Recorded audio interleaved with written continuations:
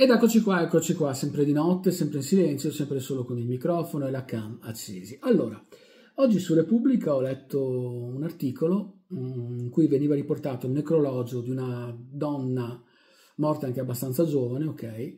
La particolarità di questo necrologio era che nelle ultime due righe c'era scritto eh, astenersi dalle esequie eh, parenti e vicini.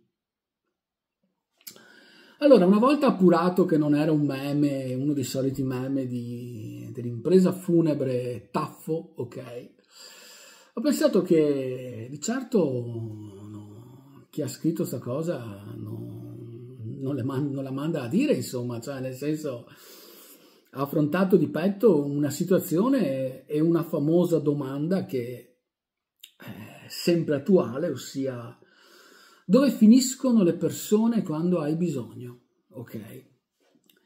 Che ripeto, è una domanda veramente sempre attuale, perché ci sono casi, casi e casi, sia ben chiaro, perché eh, uno di solito ha anche, cioè, quello che semina, ok?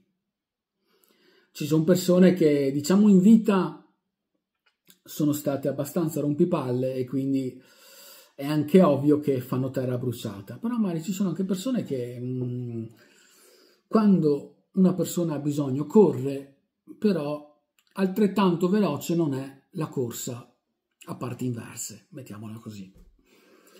Dove finiscono le persone quando si ha bisogno? Certe persone.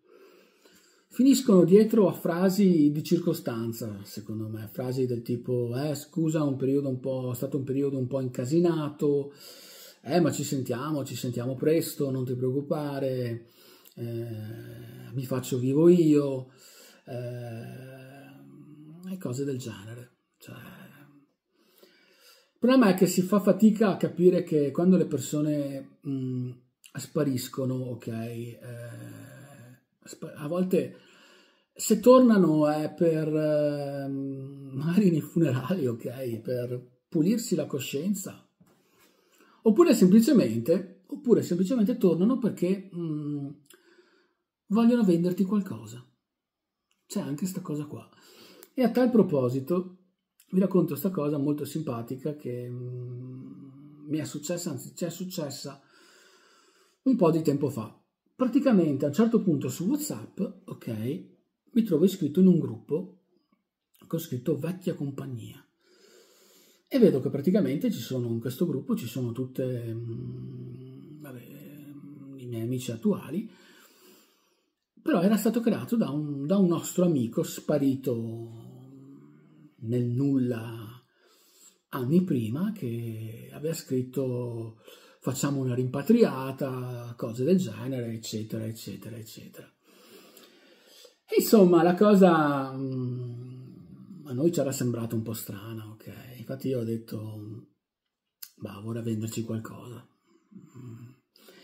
Comunque ci siamo trovati, siamo trovati in questo, in questo pub, ok? Eh, tanto una persona che all'epoca, non tanto io, ma un altro mio amico aveva aiutato parecchio, anche a livello economico. Comunque, comunque ci siamo trovati, a un certo punto vedevi che era cambiato lui, vedevi che era molto più sicuro di sé, però alla fine non è neanche una sicurezza, è, sembra più sicuro di sé. Quando mm, entri in qualche cosa piramidale che ti fanno un mezzo lavaggio del cervello, cose del genere, ok? E infatti lui era entrato in una cosa piramidale. Comunque aveva cominciato a parlare di, mm, di cose mm, del più e del meno fino a quando io ero là che aspettavo, dai, dimmi cosa vendi, che sono curioso perché sapevo, cioè si vedeva lontano un chilometro che era diventato un pseudo venditore, ok? E a un certo punto mi ricordo che ha cominciato quella cosa, mm, ma voi, una cosa del tipo, ma voi eh, come vi fate da mangiare? E io là ho cominciato a pensare, questo cosa vende? Cioè una roba... In pratica ve la faccio breve. Praticamente vendeva set di pentole cioè, penso sia stata l'unica persona, ok, finita in una cosa piramidale, sapete, un, a volte vendono prodotti di bellezza, a volte altre cose, ed è venuto a vendere a noi pentole, un servizio di pentole tra l'altro costosissimo. Mi ricordo che lo guardavo allibito e a un certo punto l'ho interrotto e gli faccio, ascolta, gli faccio, ma tu veramente vuoi vendermi un set di pentole? Cioè, a me? E gli faccio, mi ricordo che gli ho detto questa cosa, io non ho tatuaggi, ma se ne avessi uno ci avrei scritto Findus, ok?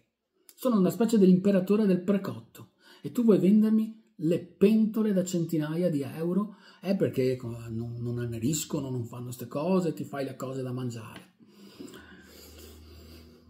Vi risparmio di com'è finita, cose del genere, ma è per farvi capire che se a volte le persone tornano, ok, è perché vogliono vendervi qualcosa. Semplice. E buonanotte.